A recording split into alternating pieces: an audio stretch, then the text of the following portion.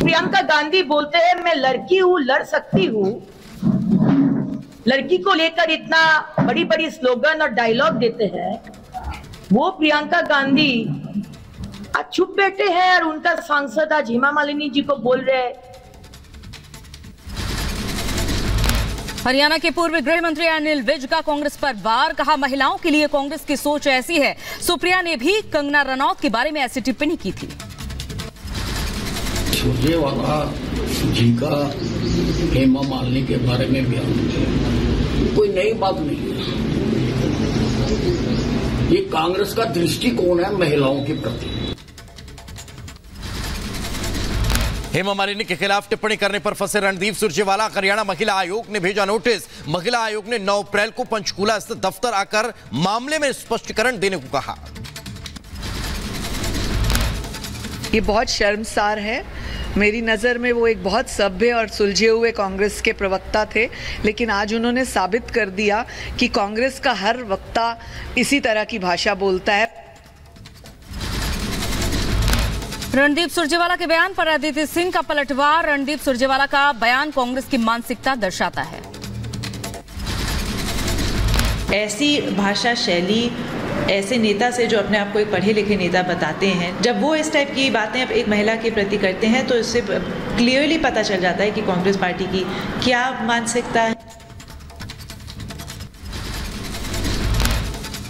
सपा नेता घनश्याम तिवारी ने सुरजेवाला के बयान पर जताया विरोध। इंडी गठबंधन के नेताओं से की गुजारिश, कहा, किसी भी नेता के ज़रिए बहन बेटियों के लिए नहीं निकलना चाहिए अब शब्द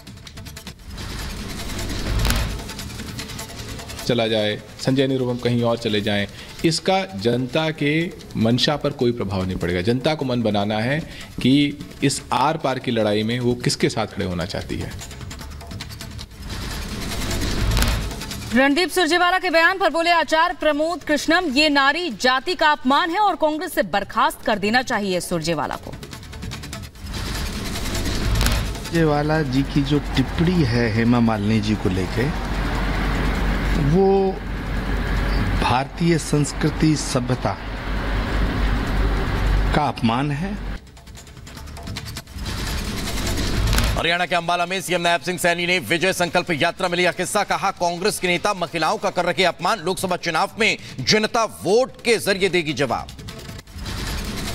दिल्ली में बीजेपी के पोस्टर्स को लेकर आम आदमी पार्टी ने जताई आपत्ति केजरीवाल के आपत्तिजनक पोस्टर लगाने को लेकर दिल्ली चुनाव आयुक्त ने शिकायत की। दिल्ली में पोस्टर्स को लेकर आतिशी ने बीजेपी पर लगाया आरोप, कहा, कुछ पोस्टर्स में सीएम केजरीवाल के आपत्तिजनक पोस्टर लगाए गए हैं। एक्शन न होने पर चुनाव आयोग से समय की मांग की। आपत्तिजनक होर्डिंग्स की शिकायत करी थी। और आज हम सीईओ दिल्ली से मिलके आए हैं। ये हमारे लिए बहुत चिंता का विषय है। भारतीय जनता पार्टी के आपत्तिजनक होर्डिंग्स पे पोस्टर्स पर कोई एक्शन नहीं हुआ। केंद्रीय मंत्री रामदास अठावले ने आम आदमी पार्टी पर बोला हमला, कहा, ईडी के पास दिल्ली शराब घोटाले के सबूत, घोटाले के लिए केजरीवाल सरकार जिम्मेदार।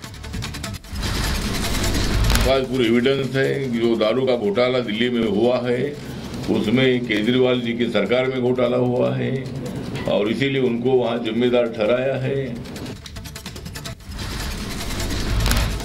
दिल्ली शराब घोटाला मामले में आरोपी के कविता की नियमित जमानत याचिका पर 20 अप्रैल को सुनवाई बेटे को एग्ज़ाम दिलाने के लिए जमानत की मांग की।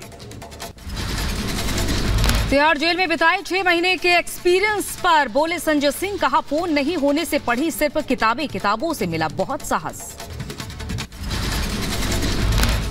बिहार के पूर्णिया सीट से पप्पू यादव की निर्दलीय नामांकन के बाद कांग्रेस ने दी चेतावनी। बिहार कांग्रेस अध्यक्ष ने कहा नामांकन वापस लें पप्पू नहीं तो कार्रवाई करेंगे।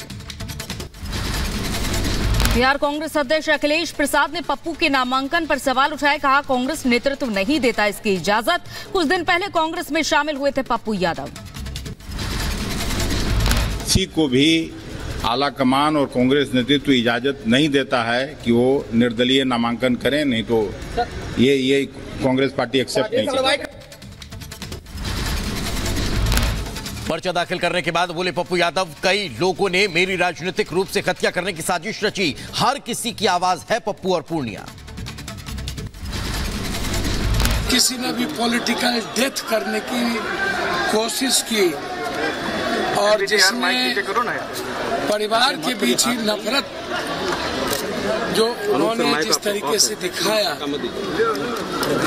मुझे समझ में नहीं आई यह कैसी नफरत थी। पप्पू यादव पर बोले आरजेडी सांसद मनोज झा कहा वो निर्दलीय चुनाव लड़ रहे हैं। पूर्णिया नामांकन दाखिल करने के बाद पप्पू यादव ने लोगों से बातचीत की। महिलाओं ने कहा हर किसी के सुख दुख में शामिल होते हैं पप्पू यादव। कांग्रेस अध्यक्ष मल्लिकार्जुन खड़गे के बयान पर बोले बीजेपी नेता शहनवाज हुसैन कहा आज की कांग्रेस नहीं महात्मा गांधी वाली पार्टी। बीजेपी नेता तरुण चुग ने खड़गे पर किया पलटवार कहा जनता जानती है किसने क्या कहा। यूपी के बदायूं में शिवपाल यादव ने कार्यकर्ताओं को धमकी दी वोट दो नहीं तो हिसाब किताब होगा।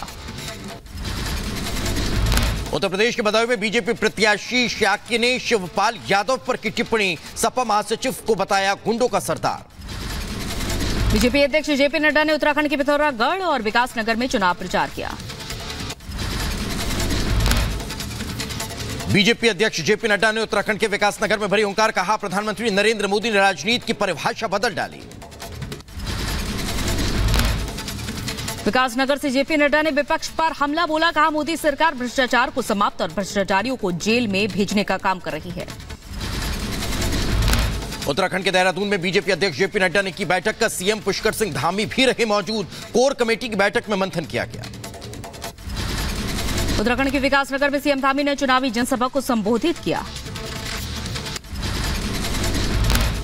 उत्तर प्रदेश के मऊ में एक और वीडियो वायरल हुआ। डिप्टी सीएम ब्रजेश पाठक ने राजभर से नीचे बैठकर सिर झुकवाया। नाराज़ बीजेपी कार्यकर्ताओं से मंगवाई माफ़ी। कांग्रेस ने उम्मीदवारों की एक और लिस्ट जारी की। गुजरात की तीन और सीटों पर प्रत्याशियों का ऐलान किया।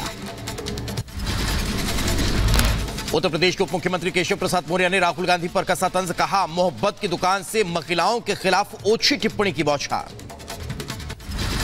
शरद गुट के एनसीपी नेता जितेंद्र आवाड ने अजित पवार पर टिप्पणी की कहा कार्यकर्ताओं को सत्यानाश करने का अजित पवार ने काम किया है। मध्य प्रदेश के दमोह में मुख्यमंत्री मोहन यादव ने किया रोड शो कहा प्रधानमंत्री नरेंद्र मोदी की योजना से मिला लोगों को लाभ। सीपीआईएम नेता वृंदा करात का बीजेपी पर हमला कहा बीजेपी ने गिराई राज्यपाल पद की गरिमा। उधर सीताराम येचुरी का केंद्र सरकार पर हमला कहा मौजूदा सरकार कर रही है संविधान पर हमला। केंद्रीय मंत्री रामदास अठावले का कांग्रेस पर तंज कहा अब की बार एनडीए 400 पार। शरद पवार गुट ने जारी की उम्मीदवारों की लिस्ट बारामती से सुप्रिया सुले लड़ेंगी चुनाव। लोकसभा चुनाव के दूसरे चरण के लिए दिग्गजों ने किया नामांकन मथुरा से हेमा मालिनी और महाराष्ट्र के अमरावती से नवनीत राणा ने भरा पर्चा।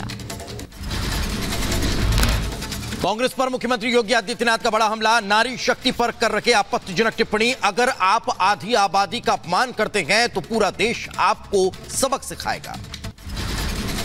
राजस्थान के भीलवाड़ा में कांग्रेस पर सीएम भजन लाल ने किया जुबानी हमला कहा कांग्रेस भ्रष्टाचार की जननी। आज मरुधरा में गरजेंगे प्रधानमंत्री नरेंद्र मोदी चूरू में करेंगे चुनावी सभा को संबोधित। सात अप्रैल को प्रधानमंत्री मोदी की मध्य प्रदेश के जबलपुर से रोड शो होगा। मंत्रियों ने किया रोड शो का निरीक्षण। उत्तराखंड के दौरे पर बीजेपी अध्यक्ष जेपी नड्डा हरिद्वार में करेंगे चुनावी सभा को संबोधित। लोकसभा चुनाव की तैयारी में जुटे कांग्रेस आज जारी कर सकती है चुनाव की घोषणा पत्र। आज पश्चिमी यूपी में गर्जेंगे सीएम योगी बागपत में जयंत चौधरी के साथ करेंगे चुनावी सभा। आप सांसद संजय सिंह आज करेंगे प्रेस कॉन्फ्रेंस जेल से रिहा होने के बाद किया बड़ा खुलासा करने का दावा। यूपी के बुलंदशहर में बीजेपी के प्रदेश अध्यक्ष भूपेंद्र चौधरी ने चुनाव संचालन समिति के साथ बैठक की। झारखंड के गोड्डा में बदमाशों का आतंक चाय की दुकान पर बैठे एक शख्स पर अंधाधुंध। फायरिंग की कनपटी और सीने में गोली लगी।